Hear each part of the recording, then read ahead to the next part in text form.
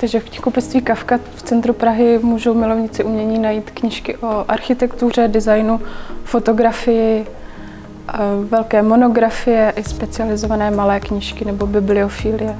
Nakladatelství Kavka eh, vydává knížky s japonskou tematikou. Vydali jsme už asi tři knížky, chystáme další. Vydali jsme i monografie o významných českých umělcích a máme i menší edici Prach a broky, která se soustředuje hlavně na eh, knížky pro děti. Všechny bych vás moc ráda pozvala k návštěvě našeho malého knihkupectví.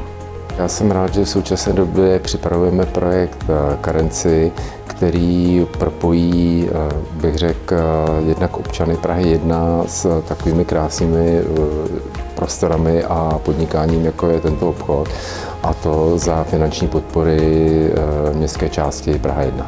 Já myslím, že je krásné, když ještě na Praze 1 jsou právě přesně takovéto typy obchodů, kde eh, na vás zase dýchne trošku jiná atmosféra, než na jakou jsme po celý den na ulici zvyklí.